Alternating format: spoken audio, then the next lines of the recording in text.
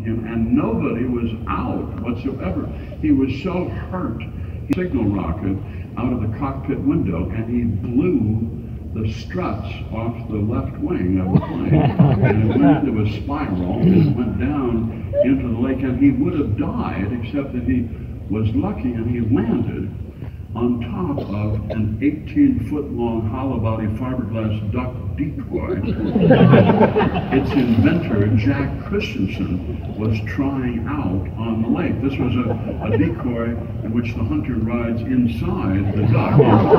And he, and, he, and he pedals and he turns a little propeller and looks through a periscope in the duck's neck. And when he sees incoming, then he kicks out a trapdoor under the duck's tail and he and he blasts away. Well, Wilbur landed on top of this duck decoy, and his life was saved. And then he decided to devote himself to spreading the gospel, you know, with a hot air balloon, whatever whatever occurred to him. I'm not I'm not even sure. Jack Christensen was expecting that the invention of this duck decoy would make him a millionaire. And, and he was so disappointed when it did not. It was not seaworthy, and even in a light swell, he would become nauseated riding inside it. And so he only made three, and he never sold one of them. And he, and in his disappointment, he took up bourbon as a hobby. And then he, he met a woman named Mavis. She, she was in the neighboring town of Millet. She was a bartender there in the Sidewinder bar. And, and he walked in there one day because he was the town drunk, you see, in Lake Wobegon, which is a competitive position. and, uh, and, and he got to the point where Wally was kicking him out of the sidetrack tap, and so he had to go to the Sidewinder if he wanted something before noon, and he, and he did. And she gave him a beer and a bump, and he had that at the bar. And she said, "You look so much like somebody I used to know who really loved to dance." Well, well, Jack wasn't sure he wanted to, but but he, you shouldn't say no and to an offer. And and she put a couple quarters in the jukebox and played some left Lefty Frizzell, and he came out and took her in his arms, and they and they danced. And she was a wonderful dancer. But after two tunes, she was, she said, my leg is killing me. I'm sorry, I have to, I have to sit down. And she sat down in a booth and she reached up under her skirt and she unstrapped her left leg. It was a, it was a wooden leg, and she took it off and she set it right down on the on the table. He couldn't help but notice that there were some initials, uh, Carr Pinto. They, he guessed that they were men, and, uh, didn't know what that meant. And, and, then she, she said, I'm so perspiring, she said, and she, and she pulled off her wig. She was bald as a bowling ball. and, and then she sneezed, and her left eye flew she, she said, my right eye comes out about about six inches. She said the, the optic nerve will stretch, and so I can look and see if my pants are on straight, or, or if somebody's uh, coming up on me. If, if you'd like to see that, she said, well, he did. He wanted to see it. And, and, and, and, who knows how these things happen, but he, but he got a crush on her. And, and, he, she became his girlfriend, this, this one-legged woman who was, who was completely bald. And of course, there's no way to keep that a secret in a town like Lake Wobegon. And his wife, Mildred, soon heard about it, who was a Sunday school teacher in the Lutheran Church and who was a, a teller at the Lake Wobegon State Bank. And she, and she was she just felt that life owed her more than to have this this this this, drunk who was fooling around with other women. And so she she took matters into her own hands, literally, and one night she disappeared with an enormous suitcase full of hundred dollar bills packed in tight rolls. And she got on a plane and she flew to Buenos Aires. The bank examiners were on her trail and they just missed her at the airport. She took off and she bought herself a house in Buenos Aires surrounded by a high wall with a pool behind it in a neighborhood where many many former Sunday school teachers from the Midwest are, are living. And, uh, and she and she changed her name to Mercedes, and she and she dyed her hair black and cut it short, and she took up smoking Turkish cigarettes and, and drinking frozen daiquiris, and she hired a man named Juan to, to, to clean the pool and also to rub olive oil on her back. And she began to lead a very different life than she had Mm, known in, in Lake Wobegon. Hmm. Meanwhile, the bank took the house.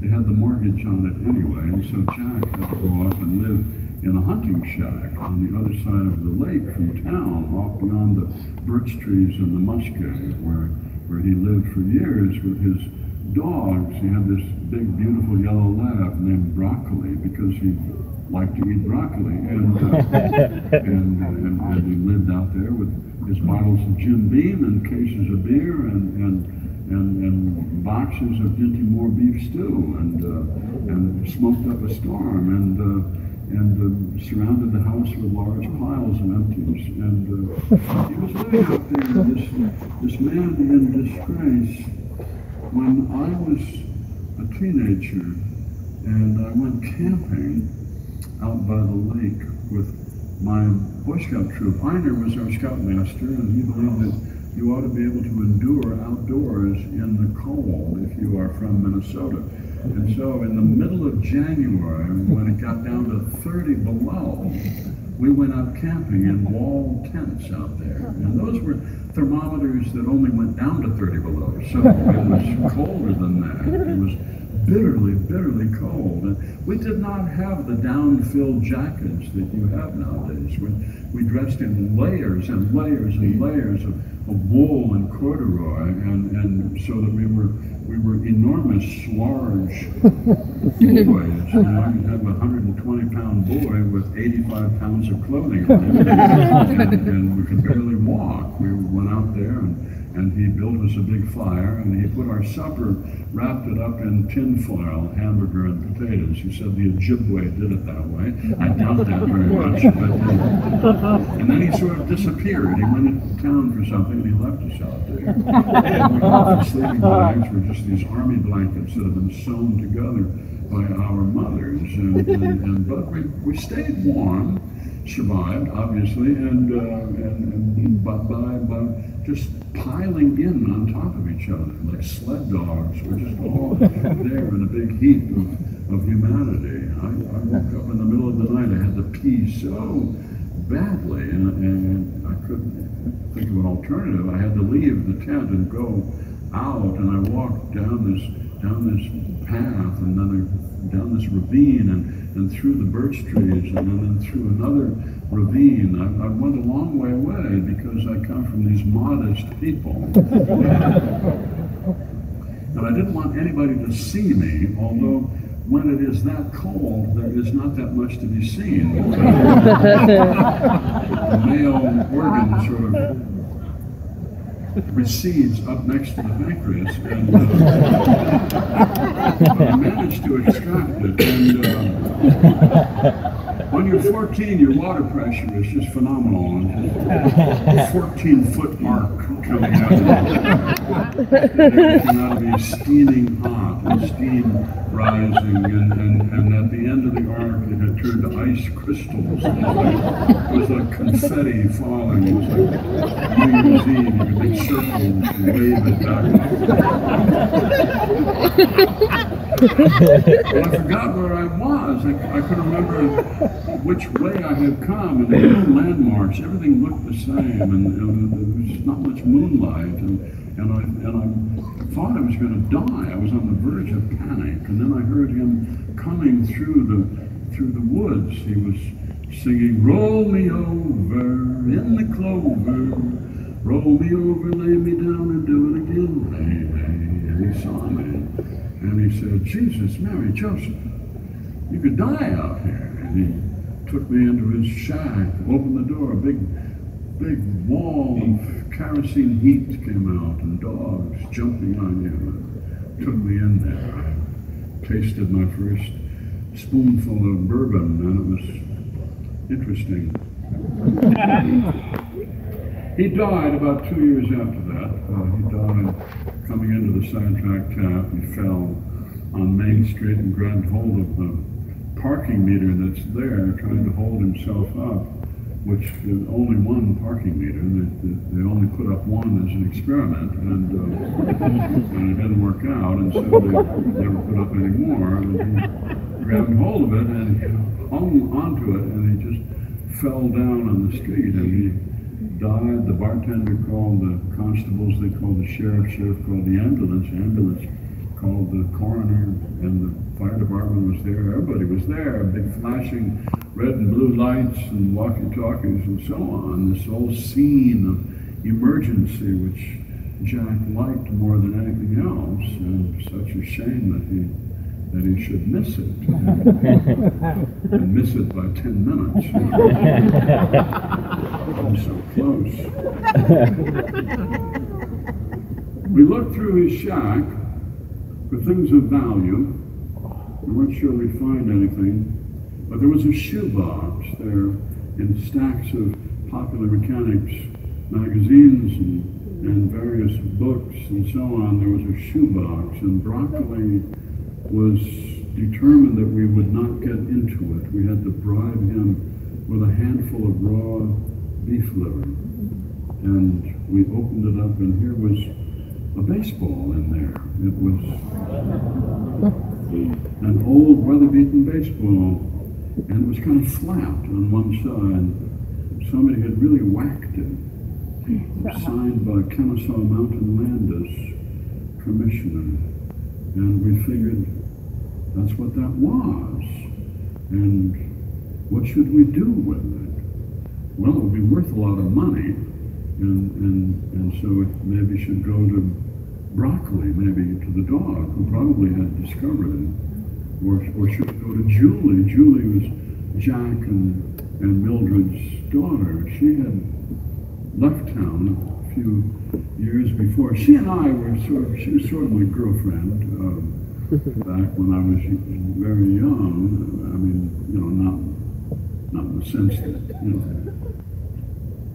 I mean, we didn't do stuff, you know. well, once we were just sitting around in her backyard, and she and she said, uh, "I'll never forget it." She said, uh, "Would you like to wrestle?" She was wearing shorts and she had a t-shirt on, and I guess she was 14, I was maybe 13, and I didn't know what to say. And then she was on top of me, and she and she got me down. So she was really strong, and she and she got me in a scissors hold and a headlock, and and and and and, and I was trying to get trying to peel her hands off each other, and and, so, and, and then and then it occurred to me this moment that really changed my life. I thought to myself, why do I want to get this girl off? what is the meaning of winning in this situation? opens up your mind, you know, to all the different ironies and possibilities in life. Anyway, she had been she had been Miss Liberty in the Fourth of July parade, and she had been marching down the street with her pointed crown, you know, and holding the torch and the tablet in the crook of her arm, and she was marching along, holding up the hem of her long greenish copper gown, uh, which was too big for her, and she came by where that parking meter was, and she heard her mother's voice say, Julie, I need you. And she was so taken aback that she dropped the hem of the gown and she walked right up the inside of it and it tore from her body and fell down in the street. Many people remember this, but they, but they remember that she was naked. She was not naked. She was wearing underwear. I, I know, I was there. And, and she picked up the gown and she marched to the end.